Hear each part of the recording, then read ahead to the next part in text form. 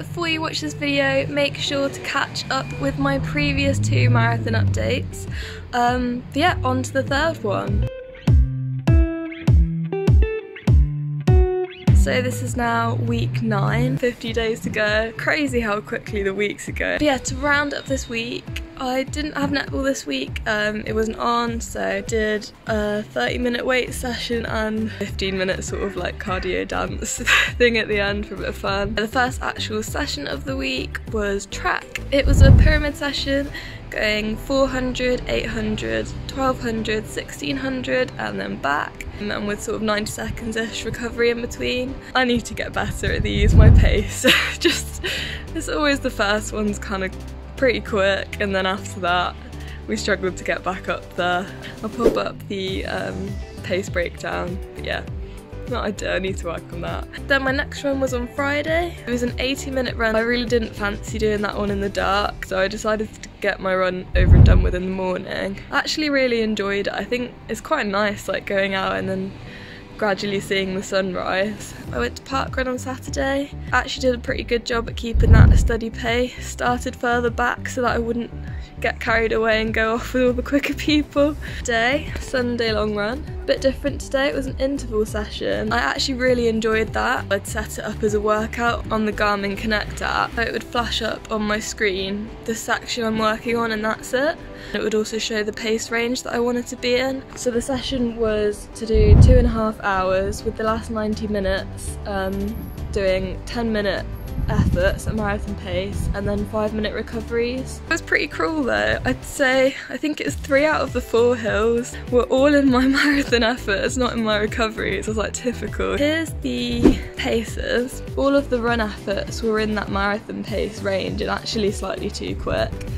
That's good, but I need to improve on the discipline and keeping with keeping at the actual goal pace because you do not want to be going off too quick on marathon day. Much easier than my last run this one, even though it was the same distance, because I actually took the right amount of gels. Yeah, really positive end to week nine. Um, and I'll see you at week 10.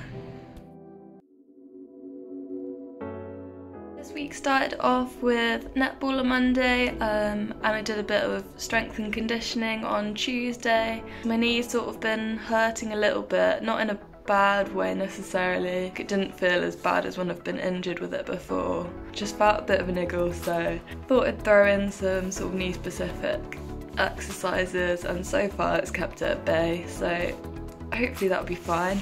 And then at track the session was four lots of 1200 um, with 400 recoveries. I actually had Ryan pacing me around because he was taking that session a little bit easier. I'll pop up the pace on screen there. We were aiming for 450s but it just didn't happen. I just couldn't speed up but it was very consistent, so there's that at least. The same theme sort of continued on Friday's run as well. So in my head I thought I'd be aiming for 5 510 ended up doing 520 but again pretty consistent must be having a slower week in the leg saturday i didn't do park run i had a match in the morning um, but it was probably a good job because most of the park runs were cancelled anyway. There's been a lot of flooding and black ice as well. Luckily by the afternoon that had all melted away and I just did a quick 5 and a bit k easy run, just stretching the legs out.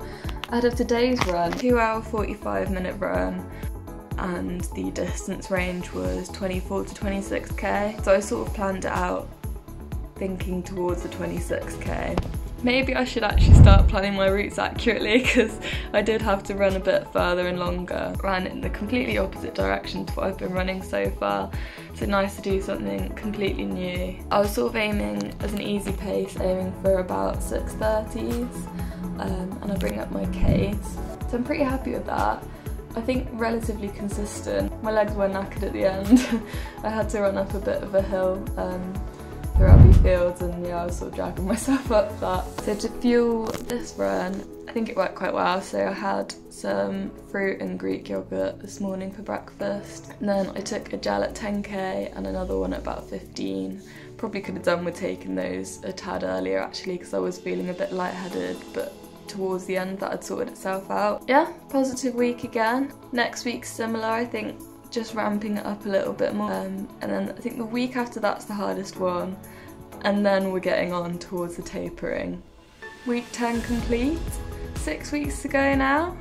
I will see you on week 11.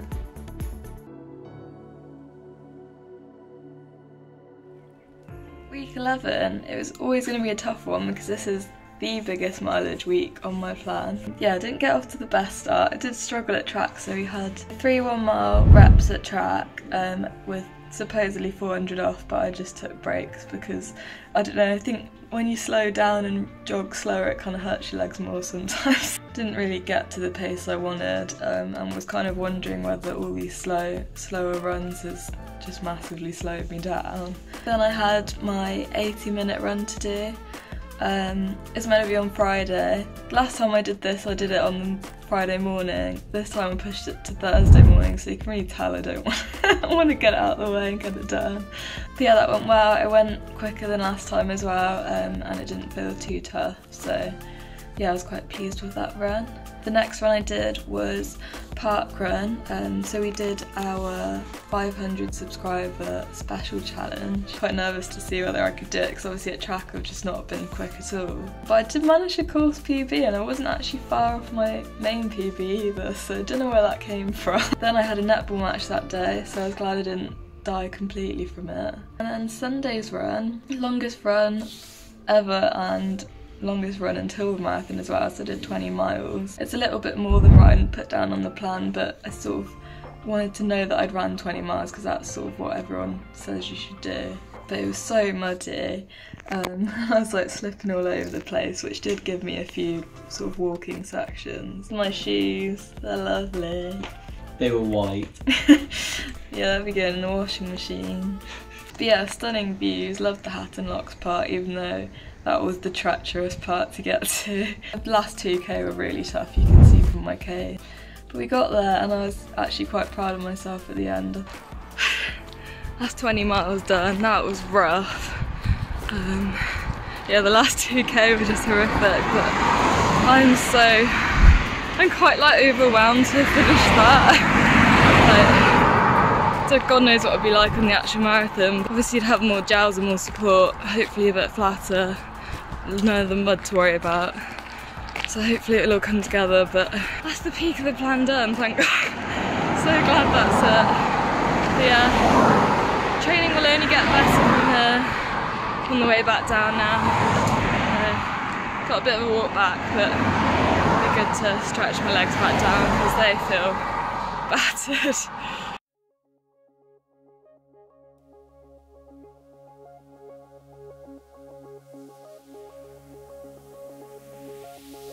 So week 12. It's been a busy week this one. I had netball training on Monday. On Wednesday I had track, which this week was a ravine. Starting with 1600, down to 1200, 800, 400, and then you go back up.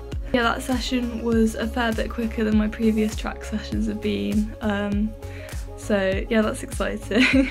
Getting my speed back. I think I maybe was trying to overstride to speed up rather than increasing the cadence. Then on Friday I did a morning run which was 1k warm up, 1k cool down um, with 30 minutes at 7 out of 10 pace. Pace was okay, I'll pop it up here. Ideally would have been quicker but I'd only just woken up and hadn't eaten anything before I left so well, that explains that one. And then the rest of the day was basically a free S&C day because me and Ryan moved house. So lots of heavy lifting and shoving things about. And then Saturday, I could run to parkrun now.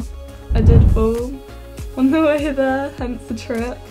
But yeah, in the battle of me versus pavement, it's 1-0 to the pavement. So hopefully there will be no rematch. Stay tuned for tomorrow.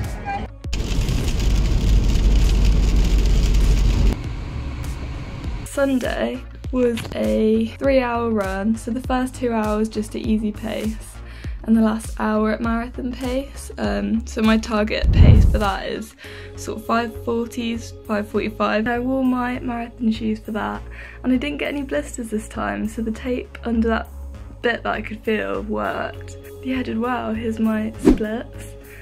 Did much better than I thought at picking up at the end.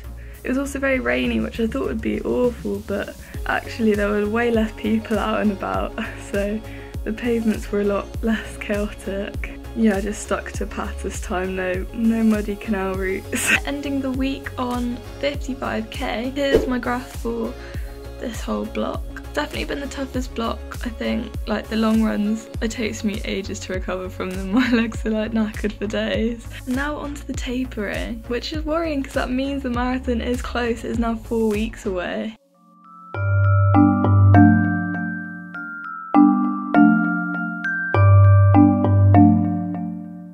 On to our next adventure.